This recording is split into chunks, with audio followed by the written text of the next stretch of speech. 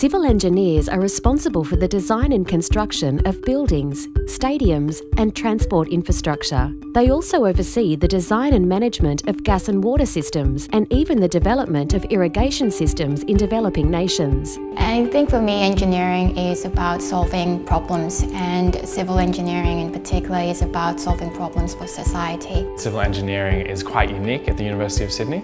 It's unlike any university in Australia in that there's a big focus on practical applications of the theory which you're learning. In the very first subject that our students do, they are building scaled down models of frames, bridges and other civil engineering structures, putting them together to see physically how things actually work. Throughout this four-year degree, you'll study a series of core units as you master the foundations of civil engineering before specialising in an optional major, including construction management, environment, geotechnical, humanitarian, structures and transport.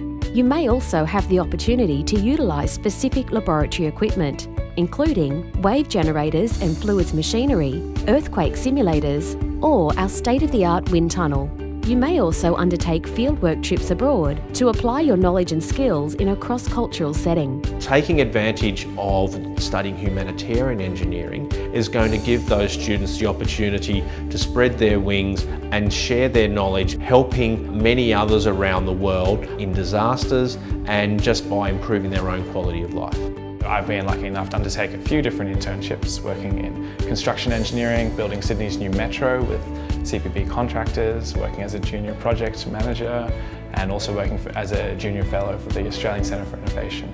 I think that having a civil engineering degree opens a lot of opportunities. Some of my colleagues who I went to university with work in IT, finance, consulting, and I myself work in project management. Some of my other colleagues work in specifically structural design engineering, so they're using their really technical skills they've learned at university.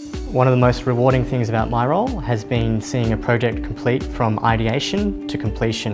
I've been involved in several fit-outs of retail banking space and it's been really exciting to see the project complete and the customers happy at the end of the day. For students who are interested in how things work and improving the world around them, I highly recommend studying a civil engineering degree at the University of Sydney.